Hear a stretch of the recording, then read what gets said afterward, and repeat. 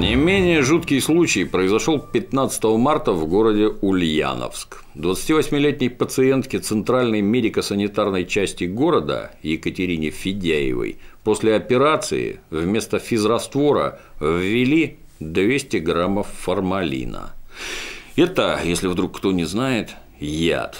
Медицинская сестра Зубрилина не посмотрела на этикетку. Сообщается, что операционная бригада, зная о произошедшем, пыталась происшествие скрыть. Вплоть до утра следующего дня пациентке не оказывалась помощь, и только когда положение стало сложным, врачи признались.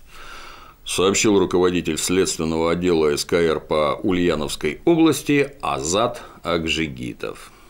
Отравленную женщину доставили в Москву, где врачи сделали все возможное для спасения. Однако 5 апреля Екатерина умерла. Виновные, в том числе главврач Ульяновской медсанчасти, уволены. Многие, в том числе лечащий врач Валентина Родионова, уволились сами.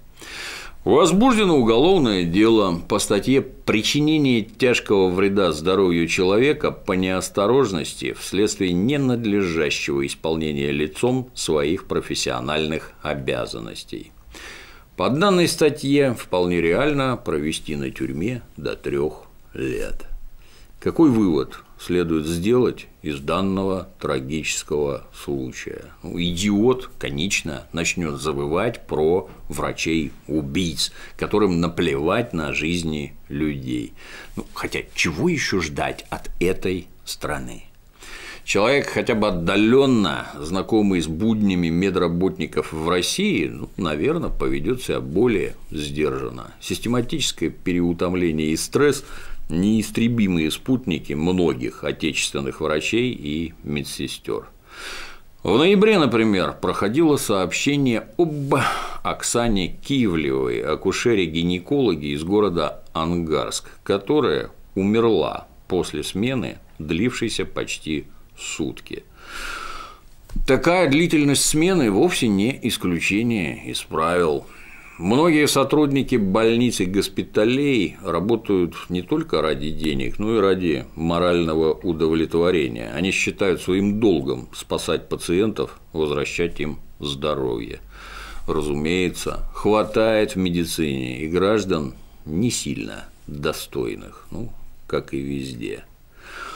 Лучшее, что можно сделать для предотвращения подобных случаев в будущем, это не вой и не проклятие это государственные меры по улучшению условий жизни работников здравоохранения в родной стране, чтобы работать можно было в среднем по 8 часов в день, ну или около того, чтобы конкурс был высок даже на должность медсестры, и криворукие мечтательницы, забывающие читать этикетки, ну, чтобы вот такие в больницах присутствовали только как пациенты.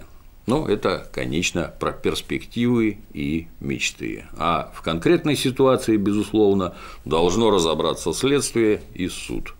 Количество жалоб на врачебные ошибки в России стабильно растет. По информации Следственного комитета, за 6 лет количество жалоб на непрофессионализм отечественных эскулапов выросло втрое – с 2000 до 6. Как там сказал известно кто, реформы провели, а про пациента забыли.